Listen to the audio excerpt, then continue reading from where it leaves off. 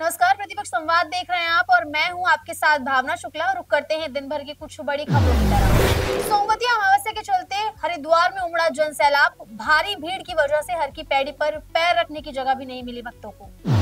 इस बार सोमवती अमावस्या 8 अप्रैल को है। इसके चलते वीकेंड पर धर्म नगरी हरिद्वार में शनिवार से ही देश के कई राज्यों की भीड़ उमड़ी हुई है।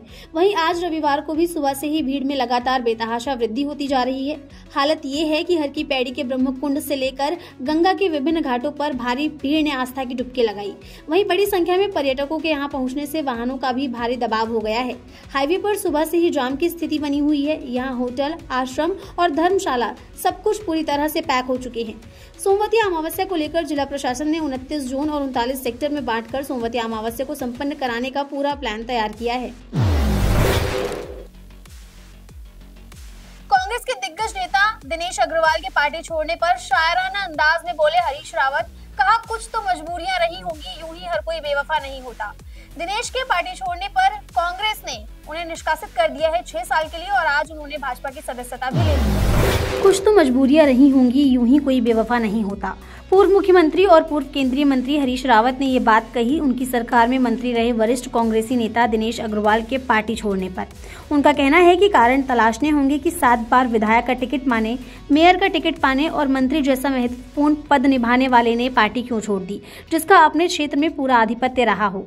मज़बूत स्थिति में जो रहे हों, ऐसे लोगों को पीछे नहीं हटना चाहिए और भाजपा में तो कतई नहीं जाना चाहिए। उत्तराखंड कांग्रेस की अनुशासन समिति ने पूर्व मंत्री एवं और नगर निगम पार्षद राजेश परमार को पार्टी विरोधी गतिविधियों के चलते तत्काल प्रभाव से पार्टी की प्राथमिकता सदस्य से छह साल के लिए निष्कासित भी कर दिया है। बताते चले कि उन्होंने शनिवार को पार्टी से इस्तीफा दे दिया था। वो लोकसभा चुनाव में कांग्रेस के स्टार प्रचारक भी थे। अब खबरें ऐसी भी आ रही है की दिनेश अग्रवाल ने आज भाजपा की सदस्यता ले ली है।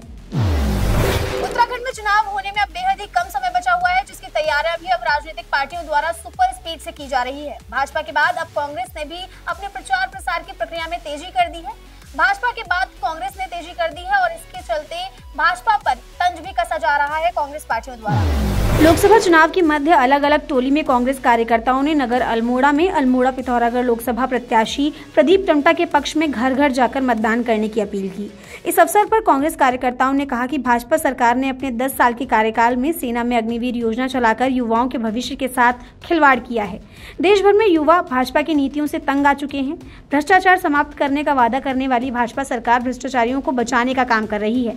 कालाधन वापस लाने के नाम पर सत्ता में बैठी भाजपा सरकार देश को लुटेरों को सौंपने का भी काम कर रही है।